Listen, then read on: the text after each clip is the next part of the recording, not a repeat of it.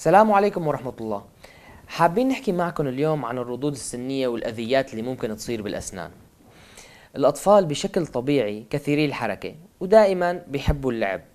فمن الممكن يؤدي هذا الشيء إلى وقوع فبالتالي إلى كسر الأسنان. طبعا كسر الأسنان في له عدة أنواع فمن الممكن يكون كسر بسيط وهذا الشيء ممكن نعالجه بوضع حشوة تجميلية. من الكون كسر أكثر عمق يعني واصل إلى الجذر فبالتالي من الممكن نقوم بعملية سحب عصب ثم بعد ذلك وضع حشوة تجميلية. من الممكن الأسنان ما تنكسر إنما تدخل إلى داخل الفك. إذا دخلت لداخل الفك وكانت أسنان لبنية فقط نكتفي بمراقبة السن يعني إذا كان طبعا دخلت بشكل بسيط وليس بشكل كامل غرزة داخل الفك. أما إذا كانت غارزة بشكل كامل فمنقوم بعملية قلع الأسنان اللبنية وذلك بسبب خوفنا من أنه يصير الجذر يلتحم مع العظم وبالتالي بتصير عملية وقت التبديل جدا صعب ومن الممكن وقتها ما نقدر نقيمه طبيعيا إنما عن طريق القلع.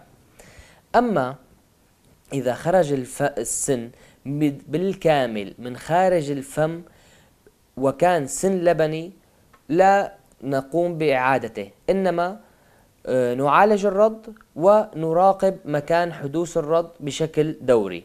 ومن الممكن وضع طبعا حافظة مسافة. أما إذا كان السن دائم فطبعا فينا نقوم بعملية نحن بنسميها زرع الأسنان. نفس السن بناخذ السن اللي وقع أصلا اللي هو السن الدائم مننظفه وطبعا بنغسله ومنعيده وضعه داخل الفم. ومنثبت الأسنان بشيء بنسميها الجبيرة السنية يلي ممكن نساويها إما بسلك تقويم ومن الممكن نساويها بالكومبوزيت اللي هي الحشوة التجميلية. طبعا بنتركها بمكانها مع المراقبة لفترة ما يقارب من أسبوع لشهر.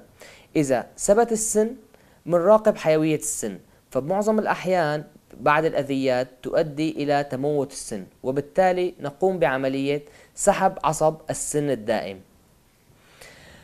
عندنا كمان إحدى الأشياء الأخرى أيضا اللي بنواجهها هي الأسنان الولادية. فبعض الأطفال فورا بعد الولادة تماما يبزغ عندهم سنين أو من الممكن سن واحد.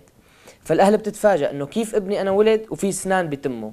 طبعا نحن فورا بنطمنهم من هدون إنه هي ما في أي مشكلة من الممكن أن تحدث.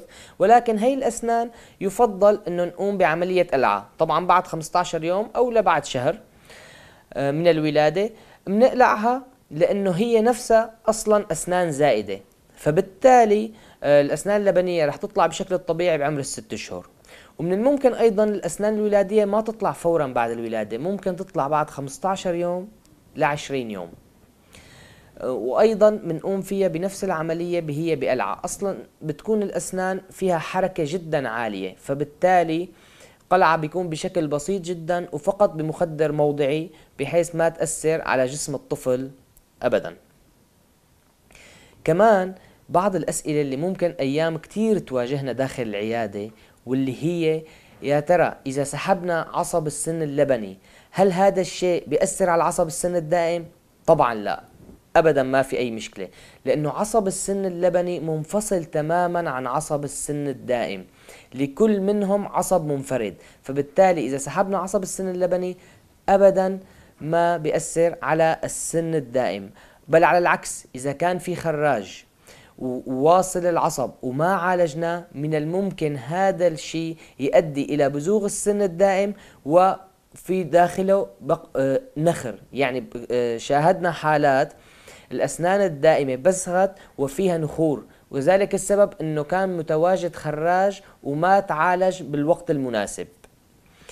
طبعا هي نهاية فقرتنا. بنحب نشكركم والسلام عليكم ورحمة الله.